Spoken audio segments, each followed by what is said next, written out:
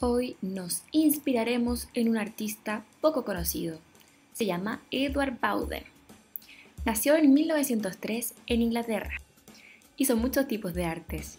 Ilustró libros, pintó murales, hizo muebles y es muy famoso y reconocido por sus murales en el metro de Londres, como los que estamos viendo acá.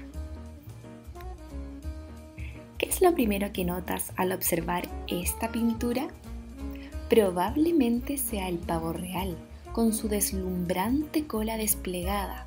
Bowden nos muestra el carácter orgulloso del ave en esta ilustración de una de las fábulas de Soap. Las fábulas son historias con una moraleja, lo que significa que tienen una lección que enseñarnos. En este caso, el pavo real declara que él debiese ser el rey de todos los pájaros. Las otras aves están impresionadas por su majestuosa apariencia, pero la urraca se pregunta si el pavo real podría proteger a los demás pájaros de las águilas y otros cazadores. La moraleja de la historia, hay que escuchar los consejos de los demás.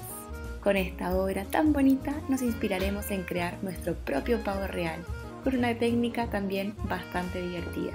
Empecemos. Usaremos una hoja blanca, lápices pasteles o crayones, pincel, témpera, cartulina y revistas. Papel blanco lo pintamos con crayones o con pasteles, es mejor pasteles.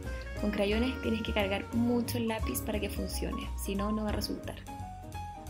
Luego lo pintamos de negro completamente. Puede que necesite dos capas porque se empieza a correr la pintura.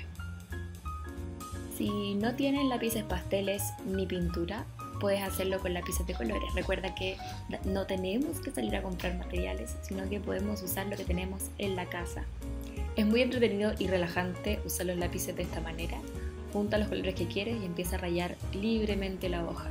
Eso sí, dale hartas capas para que quede bien tapado y bien colorido además. Así que podemos usar esa hoja para usarla más adelante. Cuando se haya secado el papel negro, tomamos algo puntudo, un alfiler, lo mejor es un palo de brochetas.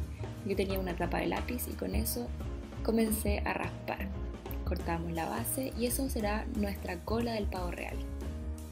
Luego en cartulina o en hoja blanca dibujamos un pavo real lo más sencillo, y comenzamos a raspar nuestro papel negro para que empiece a salir el color que teníamos debajo.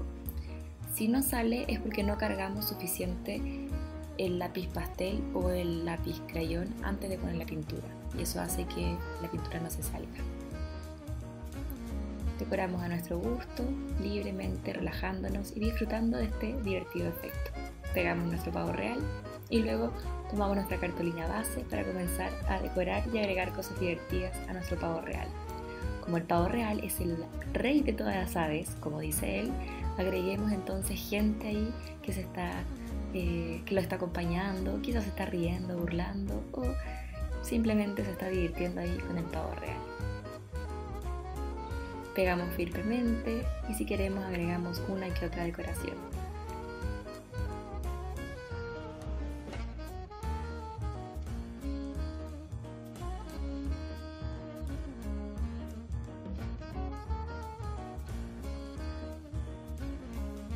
Si no tenías lápices pasteles ni pintura, recuerda que también queda muy bonita nuestra cola hecha con lápices de colores.